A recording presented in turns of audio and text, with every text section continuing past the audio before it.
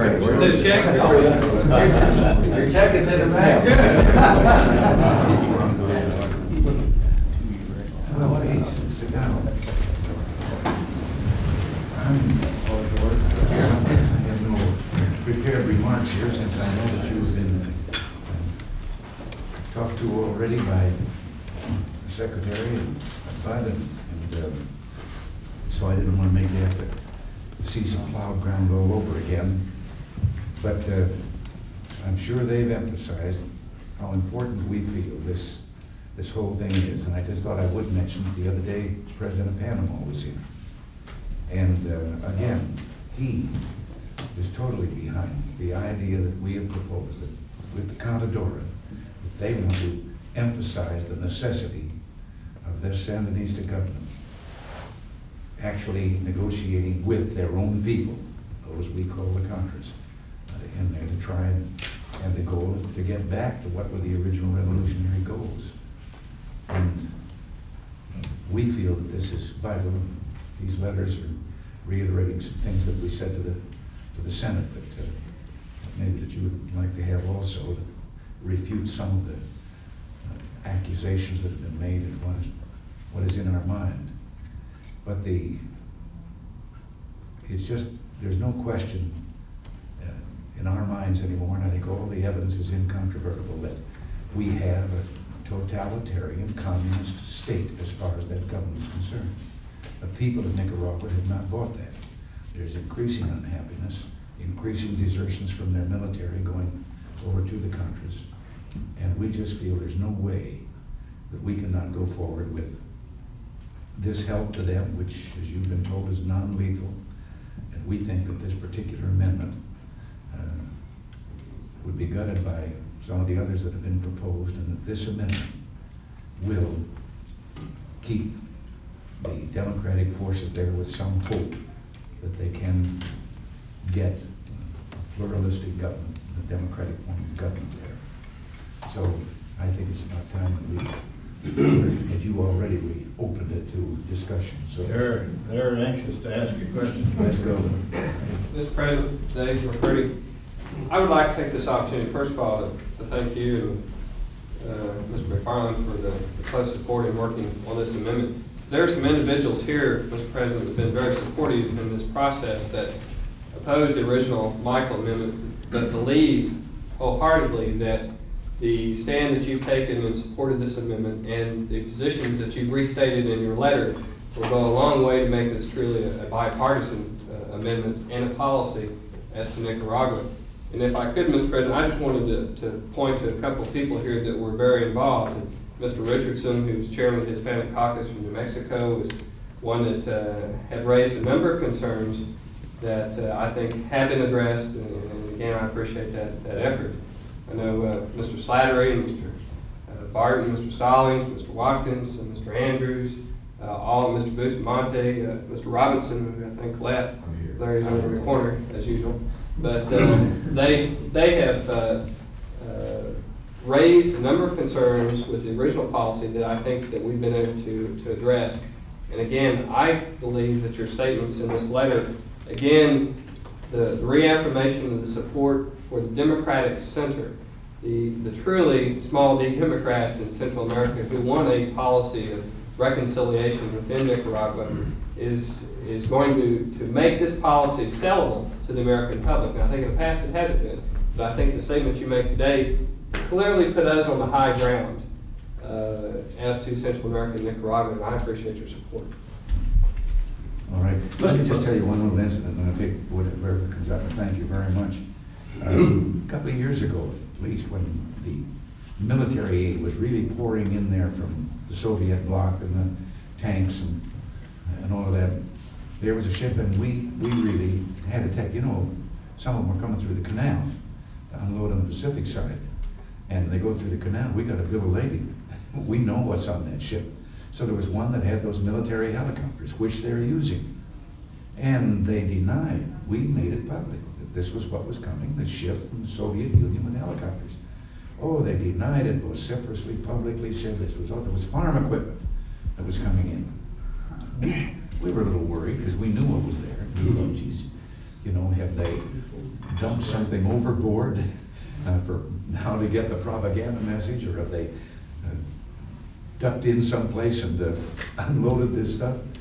And, and particularly when they then announced publicly that they would have the international press on the docks to watch that ship unload. And we thought they'd done something. So the ship was there, and the ship unloaded, and the international press on the dock consisted totally of the Cuban press. That was the international press. So then we, we knew, we were able, as you know, to find out, we knew, no, they'd unloaded the helicopters, and they've since been in action. Mr. Mr. Bonnet, uh, I think raised a key issue here, Mr. Secretary, you responded to it partially. If, if those countries surrounding Nicaragua knew that they had the support of the United States Congress, because they know they had administration support, if they knew they had the support of the United States Congress, would the attitude be different? The attitude of those countries be different in the context of the question raised by Mr. Bonnet? Would they be more willing to come forward and say, yes, we need, we need your support? Oh, I believe entirely, yes. I think this is one of the things. They've been, and with the way we've gone back and forth, they're unsure. They're scared to death of Nicaragua. They know that's the threat to them. And they're hesitant about how far they can go without finding themselves the next victim. And they've made, well, when the president of Honduras was here just recently, that was very much a part of our discussion there. And I assured him, as far as we were concerned officially, uh, uh, no, we were, we could be counted on. But uh, they, they know also enough about our government to know that there are limitations on what the president could do. Mr. President, Jim Snyder and I have some real concerns about how you logistically plan to deliver this, this humanitarian assistance to the countries. Can you give us uh, assurances that, that we're not going to get involved in using military aircraft, U.S. military aircraft to deliver this humanitarian assistance within Nicaragua? What are your plans to actually logistically deliver the aid to the countries? Well, I think most of this aid will be delivered, at least roughly our thinking now is, on the Honduras side of the- border. But, uh, no, we've got no plans for military aircraft to, uh, to go in there. Say And absolutely flat, there'd be no U.S. military aircraft delivering supplies inside Nicaragua. That's absolutely not And can we? anybody's plan or idea. Mr. Secretary, can we construe from that also that there will not be any uh, U.S. aircraft, period, that are owned by the United States government delivering this assistance inside the the border of Nicaragua? Absolutely, yes. President Barker, to see, what are, are, what you would consider the minimum result or gains that you would have to see from this effort before you would not ask for military aid in the future? Well, some progress that they legitimately were uh, discussing uh, in a peaceful way. In other words, remember, March 1st, it was the Contras who offered to lay down their arms and enter into peaceful negotiations. Now, they're one-time partners of the revolution and thought they were fighting for a democratic revolution. And it was the Sandinista government that refused to negotiate with them. And the, the Contadora, as I was assured the other day, yesterday by the president of Panama, the, the Contadora group, they want this, these negotiations to open up. And our suggestion then, and our plan was that involve the church as kind of the mediator that everyone ought to be able to trust in uh, overseeing that this is a fair effort at negotiations. And we feel, once they get into that, then uh, it's going to be very easy to determine whether there is a, a legitimate effort being made to resolve this, and if not, uh, who is responsible for, for not making it legitimate. So negotiations begin, and you would not ask for military aid in the future? No, what we said was, in the original plan, peace plan, we did want to stick, and incidentally, uh, the president of Panama used that term. He believes in the carrot, and this is, he thinks this is the carrot that we're holding out, but he says, to make carrot work, you've got to have a stick back over here someplace that says, um, you know, if, if nothing happens, and if they just stay with their present position, and maybe just go through the motions of negotiation, and nothing happens, and it still ends up uh, another Cuba communist state, that uh, there should be some, some threat. Well, our idea of the threat was that we would resume military aid to the Contras, because the Contras will be in the position of having laid down their arms and, uh, and a total ceasefire. Laurel and Georgia, do you have a feeling about how South American countries feel about our support? Yes, I do, because I early on made a trip down there, several of them. And this is one of the reasons why I squirm every time I hear these accusations that I've got an idea in the back of my mind of uh, military action there.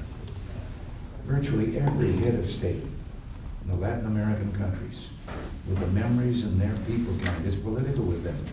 They know that their people have that memory of the big colossus of the North back in the old naughty gunboat days, of their gunboat diplomacy. And all of them say one thing, we can't do it without your help. We need your weapons, we need the training that you can give our people, we need the resources that you can provide. We don't want your men. We'll provide the manpower. They don't want Americans, again, for whatever reason, coming in there uh, and restoring that old image.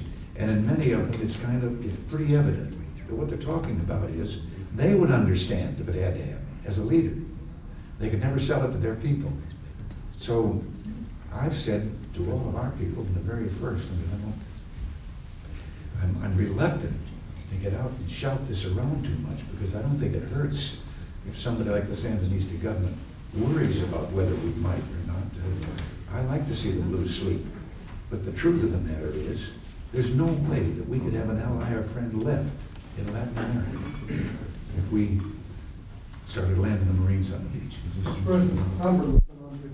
Can we, uh, for about ninety days or hundred and twenty days, once we pass this legislation, get some type of report on the leadership of Latin America, for their coming to support us, to some degree, I don't know how, to some degree, and also if we can program some leadership within the Contra area, for the church and the unions in the business area can identify some type of leadership to take over the Contra operation against the Sandinistas so that we can have some idea as to who are the leaders within this area, who is the leader that's like Duarte and Salvador. Well, some of these men are like Robelo and Cruz, men who were part of the revolution. And they're the- they're basically the leaders now of the, the Contras. One of the things that's difficult to do unless there's some sign of hope, when you have a totalitarian government as the Sandinistas have, what person there in their country, uh, civilian people, business people and so forth, how far can they go in standing up and apparently taking the side of the, of- democracy with the knowledge that the whole thing could fall apart and then they'd have to get out of the country if the Sandinistas were still? Duarte did that. Huh? Duarte did that. They Yes. just kicked him out of the country. Yep, that's right. Mr. President, I'm Mike Andrews from Texas. Uh, One of the, one of the arguments uh, against your policy, I think, has been in, in the House that uh, the Contra's goal is to overthrow the government in Nicaragua, while the administration's goal may well be for a negotiated settlement. And I wonder hypothetically, assuming that the administration gets its way, that the Contra army is built up to twenty to thirty thousand fighting men, that we continue with a negotiated settlement with the government of Nicaragua and are successful, and you reach the point where you feel that it's time to settle the case with Nicaragua. They have acceded to, to our demands for the most part. Are you confident that the Contras will participate in that settlement? Are we creating a situation, is there a danger that these Contras, by the time we've built a thirty thousand man fighting army, will not be willing to lay down their arms, but simply to pursue their goal of the complete uh, overthrow of the government. No, I think the very fact that they have taken the lead repeatedly, and the last time was March first, and now with the acceptance of our proposal based on that, the, the fact that they have been the ones that said, we'll lay down our arms. Uh, Let us, uh, let us come in and negotiate with you as fellow revolutionaries and what kind of government that we want. Did you want to say something about it? The President's right, it's useful, just recently, in the past week or so, the unified Nicaraguan opposition, uh, Cruz and company Calero have said publicly, the only way that power ought to change in Nicaragua is through an elective process. Get the quote for it. Did, did, Bud, did you tell them about your experience with the leaders down there and the targets? I do, but that's a good thing. Well, here's something that we ought to know, because there's quite a disinformation campaign, whether the Contras are savage guerrillas and so forth, or what they are. Bud was down there talking to them, and he said militarily, he said, how come you don't hit any of the strategic targets? You know, you could really cripple the economy and so forth, and, uh, there, the Sandinista government, you hit the power plants and the bridge, the same as the communist guerrillas are doing in El Salvador. And the leaders of these Contras said, no. They said, that would hurt the people. And we're of the people. So they'll, they'll fight a military opponent, but they won't attack these strategic targets that, like in El Salvador, look what's happened to the economy when the power plants go out and factories have to close down and, and all of this, transportation, the infrastructure. And the leaders of the Contras in Nicaragua said, no, sir, because that might hurt the government, but would also be hurting the people.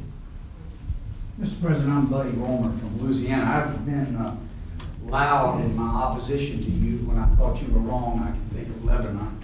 But I've been equally loud in my praise of you when I think you're right, and I think you're right on this issue. And I've been with you for some time. Two points come to my mind in looking over this group today. First of all, it is a bipartisan effort.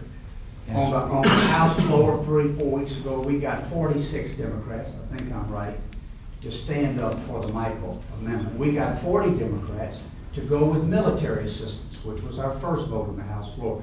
So be reminded, I know you are often, but I'd like to take this chance to remind you that from the beginning, it has been bipartisan, and we ought to make sure it ends that way. Oh, Buddy, I thank you. Yes, this is something that has to be said over and over again.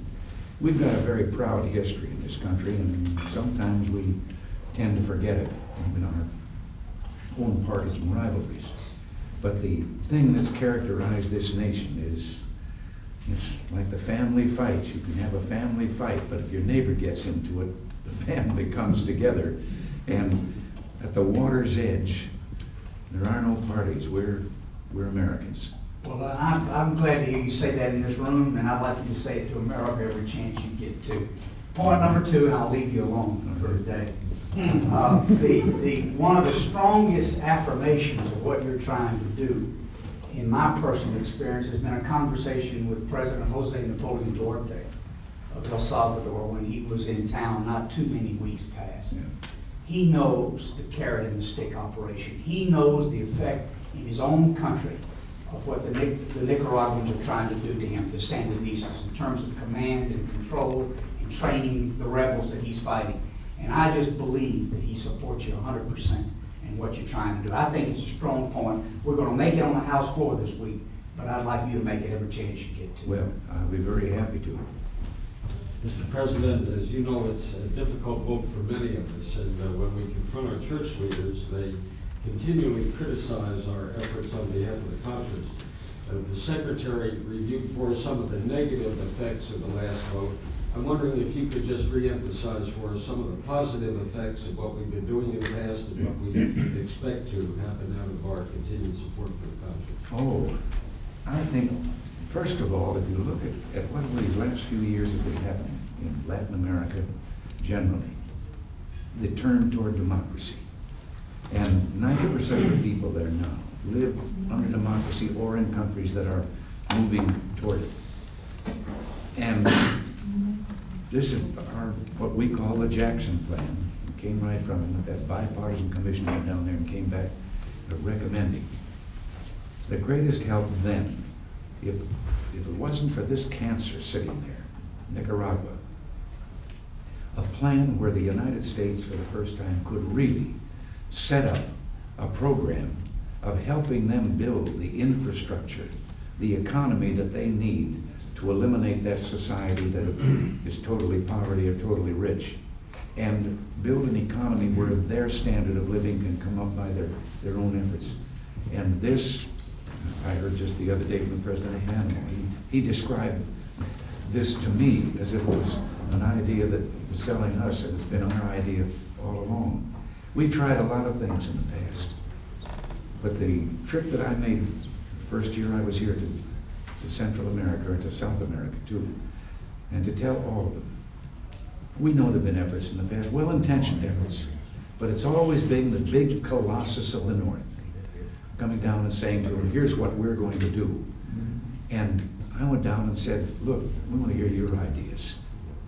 Uh, what, what do you think we should do? Uh, we're all neighbors. It's the most unique situation in all the history of the world, from the tip of Tierra del Fuego to the North Pole. We all have the same heritage of coming here as pioneers to these two continents with the bridge in between. We all basically worship the same God. Granted, we speak about basically three different languages, Brazil with Portuguese, the others with Spanish, and us with English. But we have so much in common that we ought to be able to make this whole 650 million people in these continents such neighbors that we can have borders between all of us, like the border between us and Canada and Mexico, where we don't have to have armed guards and so forth. And it's, um, I just have read the other day, and then let me say one thing about a theatrical troupe from Moscow, young people, came here to put on shows, and they started in Canada, some shows in Canada, then were sent down here. And one of them describing the, when they got to the border from, left Montreal, came to the United States, that they didn't have to stop or show any papers or do anything, and there weren't any guards or gates or anything else. They didn't even know when they had left Canada and were now in the United States, and they were all awestruck by this. Well, this averages and so forth, and say, well, seven point two percent unemployment average or whatever. They go by that's a little bit like the fellow that drowned trying to wade across a river whose average depth was two and a half feet. Uh, we know it isn't the average, that there are pockets in the country that have particular problems. But, again, where the overall economy is concerned, is it going to be helped if we remain rich here, with all our problems, but rich here, surrounded by these other hundreds of millions of people in this continent, in these continents, in poverty? Or isn't there going to be a better economy for all of us if we are all able to trade with each other and raise our standards of living? Those people down there, their standard of living is raised. Uh, they're not only going to be customers for things in their own country, they're going to be customers for things in ours. Everybody is going to, to benefit. Same, I share that, the third district of Oklahoma can raise their income and be good for America too. Just Yeah. like when we raise Nicaragua. So I'm talking about is that, that the raising the standard there and that, that can be helped by a more prosperous world with a higher standard of living worldwide. And that's why this Jackson plan is not one aimed anymore at just doling out. You know, I've had a feeling that a lot of our foreign aid, I've been as critical of it as anyone back over the years. I'm out on the mashed potato circuit, I, I had a lot of examples I could use. A fellow over there in, in uh, the Asian area, he- he'd been lieutenant colonel when he became the head of the government. He left office with eighty million dollars. Now, you don't save eighty million dollars out of a lieutenant colonel's salary. I don't care what army you're in. But you know, that was foreign aid where I remember we, we built song, provided sawmills for a country that didn't have any forest. And uh, I know we built another miles of paved roads for a country that didn't have any. And, No, but if we could go in, stimulate an economy and create customers by doing that, as well as being customers for the things they provide. Mr. President, I just wanted to to respond to Ben's question, I think Bud may be able to shed some light on it. One of the vocal opponents of, of this policy has been the churches, and uh, many of us hear constantly from the church groups uh, within our states that actually been inside Nicaragua that there's atrocities and so forth. I believe by your statement and uh, to our, in the letter and your, your support of the improvement in human rights by the resistance forces is going to go a long way to respond to the concerns that the church has had. And Bud, can you give, shed some light as to what the resistance, Democratic resistance is going to be announcing in the next few days as to some of their policies? I know it was leaked in the New York Times that, uh, last week, that they were going to come out and issue a proclamation like a Declaration of Independence or a Bill of Rights, uh, asserting political institutions over men, that they're, uh, that they are a political body, that they are going to have rule of law as opposed to uh, just armed resistance. Uh, Can we have some inkling as to what information you have as to whether or not they're going to announce this in the next few days?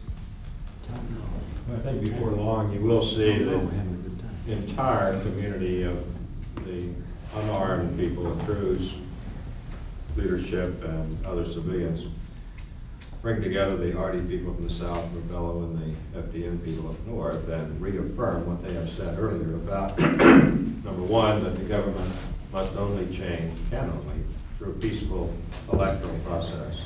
That they condemn human rights violations and will take action to uh, prohibit them in their own ranks, and once more, ask for the church to foster this dialogue between the government and the opposition. May I just say, and then take your question here, also on this, I recognize that there are many well-meaning people uh, in our religious groups, but there are also great divisions within. And the well-meaning people are those that want a peaceful settlement of anything, and properly so, they don't believe in killing back and forth. But we've got to recognize that probably one of the best and most sophisticated disinformation networks in the world is the network made by the communist bloc.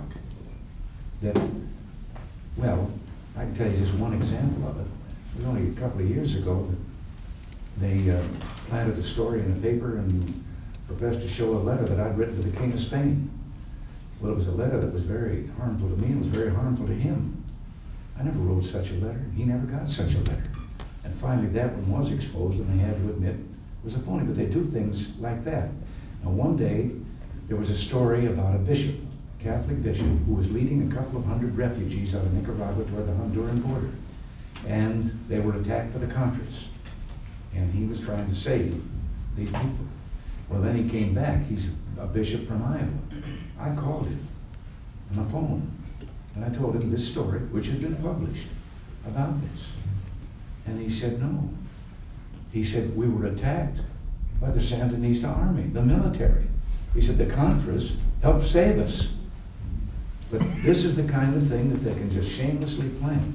And many, as I say, of our people, they don't understand who the bad guys and the good guys are. Mr. President, the hardest thing for any politician is to admit that one has made a mistake. And I want to tell you, I voted for Barnes Hamilton, I made a mistake. But I want you to understand, I'm going to support the Michel Amendment. I intend to go to Florida and go against my party, because I think you're right. But I want you to know, like Buddy echoed, it's tough on many of us.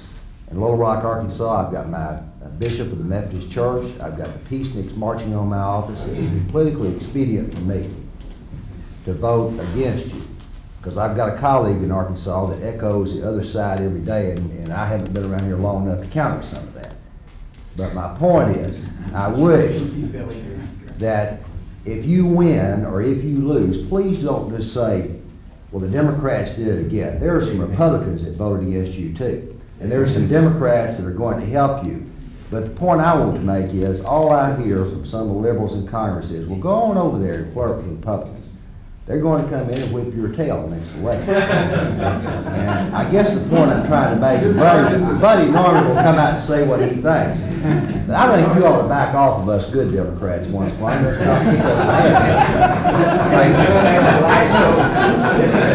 Something to you. Don't you think I'm a little frustrated? I go out there and make a speech, and then I tune on the TV news that night, and I see a shot about 20 seconds of me approaching the podium, and then I see about 10 seconds of me saying something innocuous, not important at all, while the voice of Sam Donaldson tells the people what he wants to say, I said. And so you don't know how many times I've said this and talked about this thing and the bipartisan approach and so forth, but only the people in the audience know about it. It never gets anyplace. Well, I'm going to do right, try to do my part, Mr. Michel. If you'll give me some time, I think you'll be proud of my speech, but I just wanted you to know, if, if, if we want something once in a while, can we call over and get something for ourselves? Listen, I don't want, maybe I shouldn't say this, maybe but yesterday, uh, I shook the hands of hundred and fifty office holders from a number of states, office holders at the local and the state level up to and including judges, legislators and so forth, all of who, uh, were Democrats who've become Republicans. Be careful.